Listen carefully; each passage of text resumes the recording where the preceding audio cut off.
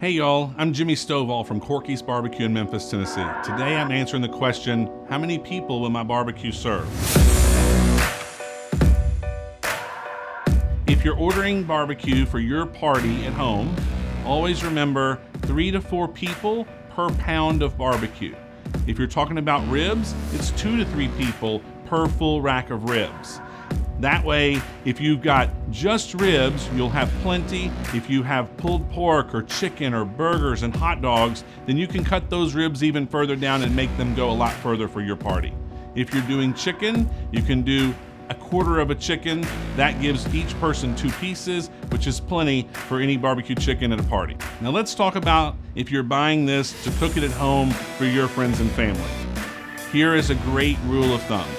If you're doing pulled pork for your guests, you'll at least want eight ounces, a half a pound of raw meat per person. You can also use that same formula, eight ounces, half a pound of raw meat if you're doing chicken or brisket.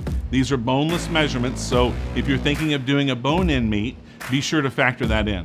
For ribs, I figure a half a rack per person, unless you're serving it with other things like burgers and hot dogs. But if it's just ribs you're cooking, do a half a rack per person because people are going to want to come back for more and more.